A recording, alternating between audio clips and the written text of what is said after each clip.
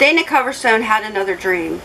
Not only has he had one dream, he's had several, and I think the most recent one he's had was October. I'm not here to talk about really talk about Dana and his dream. I want to tell you an experience that just recently happened to me. Is the devil real? Oh, I believe the devil is real. Absolutely, I believe the devil is real. Do you need to be scared in these times? Christians, no, you have God on your side. If you don't have God on your side, I would worry because the devil is scary. I was editing one of the videos I made on Dana and his dreams, talking about God and how people can come to God. Well, in the middle of my edit, when it started to say how you can come to God, what you need to do, my, my computer in the edit, it, it went crazy. I'm going to show it to you in a minute. I, I recorded it. I got my phone out and I recorded this because I wanted you to see it. I wanted I wanted you you to see it because the devil is real.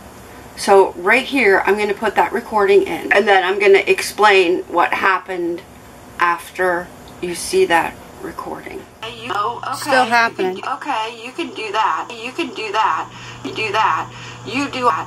You do all you you do all you the map do all you the map this and is, you, the map look and at you this. want the map and you want. I'm gonna get this want, video out. I'm gonna do all, but I'm gonna do all the I I may- I'm gonna do all the believing. I do all the believing I want. Believing I want. I, I want. Like I said, I was in the middle of that edit, and all of a sudden, my screen went black. That's the first thing that happened. My screen just went black. My computer doesn't do that. I bought a brand new computer when I started my YouTube channel because I knew I'd be making videos and editing and I needed a stronger, more powerful computer. So this is a almost new computer. In the middle of that edit, you you see my face on the screen just kind of stop, but the words keep going and the words are all jumbled and mumbled and I'm repeating myself. He doesn't like that. He doesn't like that. God doesn't like that. God doesn't like that at all. He loves us and he loves us and he loves the world. He loves the world. And he's there to for he's there to forgive you. Forgive you if you believe in if you believe in him. And it's just it's just creepy to listen to. It was creepy to listen to for me. I was home alone and I'm like, "Oh jeez." And I knew right away. I knew right away what was happening. First of all, that's never happened to me before. Ever. And I think I have almost 300 videos that I've, I've edited. I, I've edited on that computer and I've never, ever, ever once have I had a problem in an edit. Never. Never. So, when that started happening, I started feeling eerie. There was an eerie sense, atmosphere in the room. It, it was eerie. It, it was eerie. I got my phone out and recorded. I shut my computer down. I did it all. Tried to open it back up. Same thing. Same thing. Same thing happened. I then got on my phone and called my friend and said, This is what's happening to me. We need to pray. And she, I sent her the recording that I had recorded, and she's like, You're getting attacked right now by the devil. I knew it. I knew I was. I called my mom, said, You need to pray. You need to pray. This is what's happening to me. Pray. So I started the edit again, and it happened again, and I text my friend and I said, I'm going to walk away. I'm just going to walk away for a little bit and see what happens. So I didn't I didn't do that. I didn't walk away because in my brain I thought I am not walking away. The devil doesn't want me to put this video out there. He doesn't want it out there. I'm not walking away. So I didn't and I started to pray. The only thing that I could think of at that time was our Father that art in heaven, hallowed be thy name. Thy kingdom come, thy will be done, and right then, bam, it, it started working. I hit play, and it started working. The edit started working, and there was a peace. I had a peace over me. There was a peace in the room. There was, there was a peace. So, the devil is real, and you need to be afraid of him.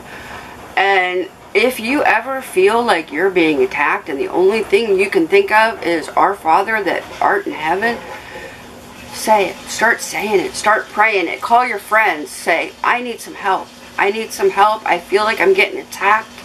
help me pray. I want to tell you something else that happened to me yesterday. I just when I when I've made videos like this about Dana or his dreams or anything, I have this uh, strong feeling. I can't I can't even explain it. I can't explain it. This strong feeling of Michelle, you need to make a video.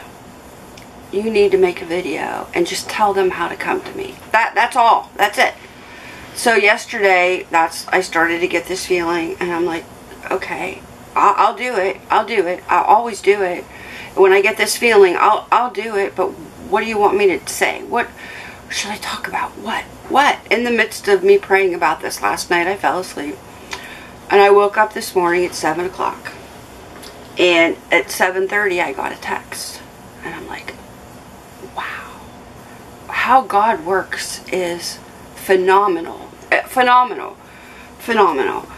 I got a text from a person that I care deeply about. And this person is a godly person.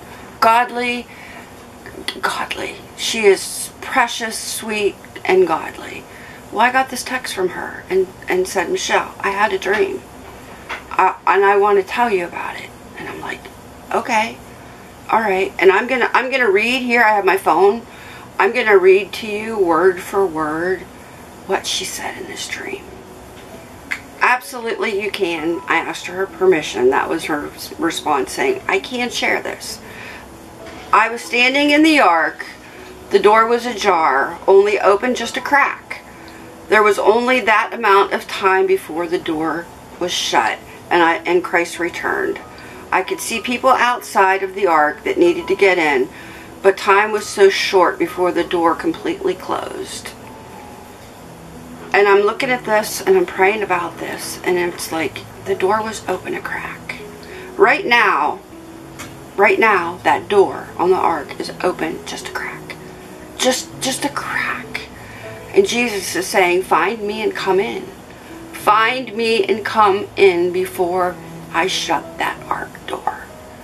So right now, the people that you hear talking about this, the prophecies about, or the dreams about what's to come in the future, God is warning us because He has that ark door open, only a crack. And He wants you to come in that crack. He wants you in the in the ark. God wants you in the ark. He doesn't want you left behind because it's going to get ugly when, when it's going to get ugly the people that are left behind, it's, it's going to get ugly. And in that ark is beautiful. It's beautiful. We are promised to have streets of gold, our bodies, everything. We're going to be perfect. Why wouldn't you want to be perfect? And why wouldn't you want to live in a perfect space, in a perfect world? Find Jesus. Get through the crack in that door because you don't want to be late, too late you don't want to be too late before that door's shut.